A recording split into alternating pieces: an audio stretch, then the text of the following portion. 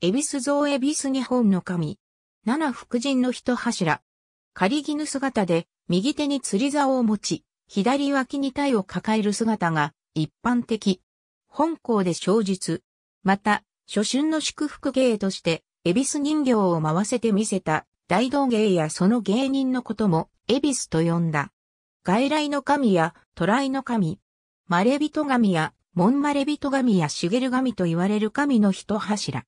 本校で小術。神格化された漁業の神としてのクジラのこと。古くは、イサナともいい、クジラを含む大きな魚全般を指した。本校で小術。より神。海からたどり着いたクジラを含む漂着物を信仰したもの。より神信仰や漂着神とも言う。本校で小術。エビスは日本の神で、現在では七福神の一員として、日本古来の唯一の福の神である。古くから漁業の神でもあり、後に留守神、さらには商いの神ともされた。エビス、エビス、コ、エビス、エゾ、エビス、エビス、エビスなどとも表記し、エビスさん、エベスさん、オベスさんなどとも呼称される。JR 東日本エビス駅前のエビス像エビス神社にて祀られる。日本一大きいエビス石像は舞コロク神社に祀られており、商売繁盛の神社とされている。エビスという神は複数あり、イザナギ、イザナミの子であるエビスイノチカ、もしくは大国主名の子であること白主人とされることが多い。少数であるが、エビスをスクナビコナの人やヒコホホデミソンとすることもある。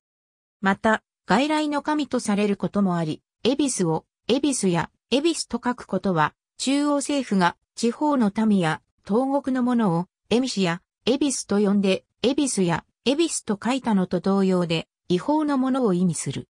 このように多種多様の側面があるため、エビスを祀る神社でも祭神が異なることがある。エビスの最初の記録は、平安時代末期のイロハアザルイ章である。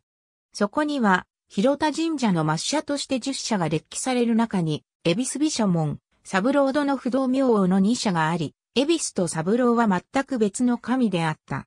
少し時代が下がって、鎌倉時代初頭の諸社禁忌には、コロモヒス不動、サブロードの毘沙門とあり、両者の本地仏が入れ替わっているが、これはどちらかが単なる誤りなのか、新説として後から修正されたということなのか、元から両説が並存していたのかはわからない。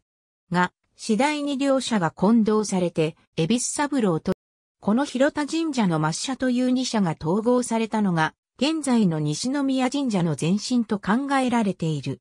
また、これらの記述から、初期にはその本事物は、毘沙門帝や不動明王とされていたことがわかる。古代では、荒々しい神として信仰されていたのである。エビスの本来の神格は、人々の前に、時たま現れる外来物に対する信仰であり、海の向こうからやってくる渡積みである。下記の漁業神、より神の他に、純然たる水の神としての信仰も存在する。漁業神、編集エビス自体が大量機の図版として使われるほど、ポピュラーな漁業神であるが、日本各地の漁村では、イルカやクジラやジンベエザメなどをエビスとも呼んで、現在でも漁業神として祀る地域が多数ある。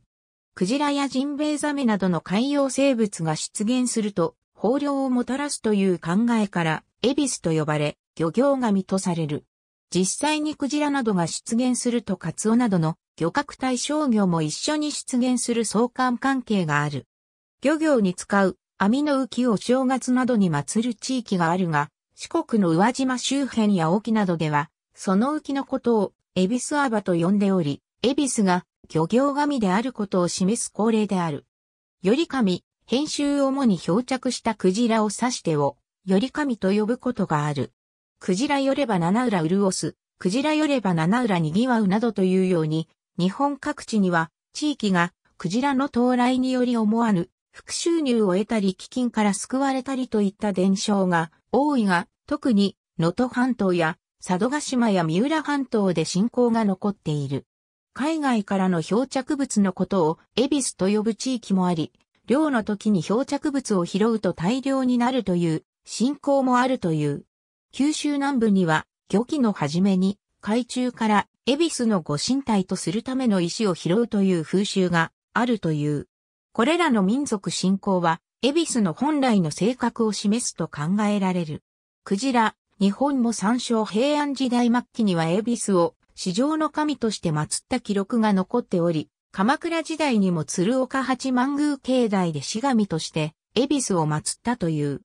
このため、中世に商業が発展するにつれ商売繁盛の神としての性格も現れたとされる。同時に福神としても信仰されるようになり、やがて七福神の一柱とされる。福神としての恵比寿は、ふくよかな笑顔で描写されている。恵比寿神は耳が遠いとされているため、神社本殿の正面を参拝するほか、本殿の裏側に回り、ドラを叩いて祈願しなくてはならないとされる。このため、今宮恵比寿神社などでは、本殿の裏にはドラが用意されている。詳細は、恵比寿港、三省民間信仰として知られるのが、恵比寿港である。恵比寿港は恵比寿を神として、祭り、五穀豊穣、商売繁盛、家内安全を願う。